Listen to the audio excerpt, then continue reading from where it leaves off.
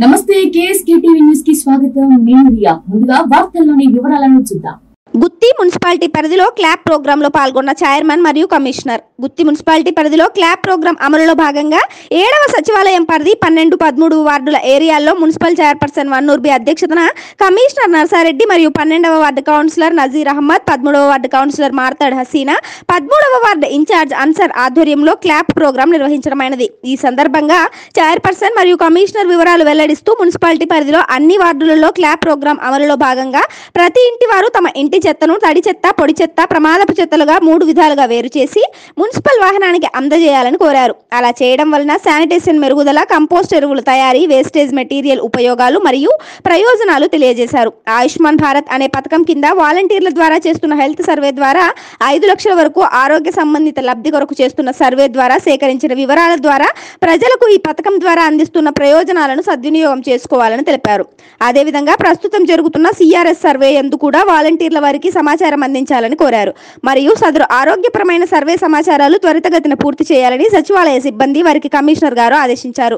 Clap programme ద్వారా వార్డులు ఎందు ఇంటింటి వారికి క్లాప్ ప్రోగ్రాం అమలు చేయుచున్న తీరును అవగాహన కార్యక్రమాలుగా చేపడుతున్నామని ఈ సందర్భంగా కమిషనర్ నర్సారెడ్డి గారు క్లాప్ ప్రోగ్రాం అమలుకు సహకరించాలని కోరారు. ఈ కార్యక్రమంలో DE Imtiaz Ali sanitary inspector Rangaiah AE Sarath Chandra పన్నెండవ వార్డు కౌన్సిలర్ నజీర్ అహ్మద్ పదమూడవ వార్డు కౌన్సిలర్ మార్తాడ్ హసీనా పదమూడవ వార్డు ఇన్ఛార్జ్ అన్సర్ సచివాలయ సిబ్బంది వాలంటీర్ సిబ్బంది ప్రజలు మహిళా సంఘాలు మహిళా సమాఖ్య సభ్యులు పన్నెండు పదమూడు వాలంటీర్లు పాల్గొన్నారు.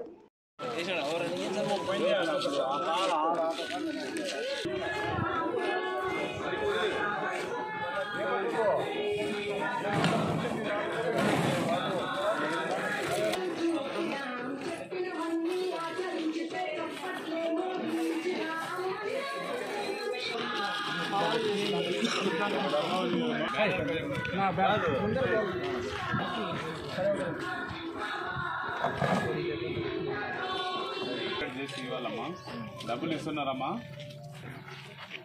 ఏం లేదమ్మా ఇస్తున్నారమ్మా ఇది మోడల్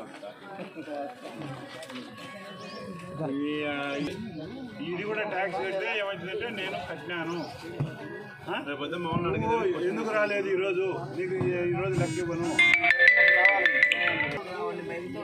ఏంటమ్మో వాళ్ళు వస్తున్నారమ్మా మేడం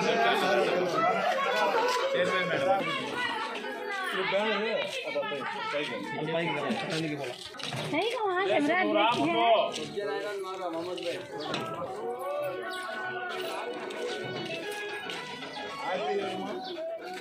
మేడం నేను వెళ్ళిపోతా నా పని అయిపోయిందిలే నేను వెళ్ళిపోతా.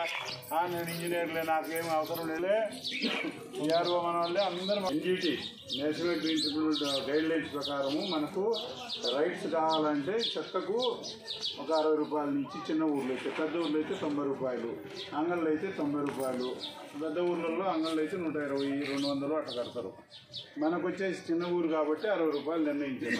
అరవై డిస్ట్రిక్ట్ కడితే డిస్ట్రిక్ట్ కనెక్షన్ రాకపోతే మనం ఎత్తాలంటేనే బాధపడతాం.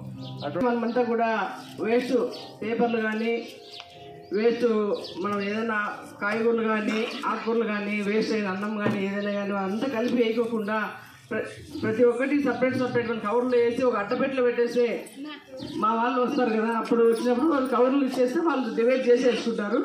అలాగని ఈ బుట్టలు కూడా మేము కొన్ని రోజులు వెళ్ళిన తర్వాత ఇస్తాం. మూడు బుట్టలని సపరేట్ దానికి స్టిక్కర్లు చేసి కలిపి చెత్త పొడి చేస్తా హానికరమైన చెత్త అని మూడు బుట్టలు ఫిఫ్టిక్ చేస్తాము కూడా వస్తుంది ఆటో కూడా వస్తుంది.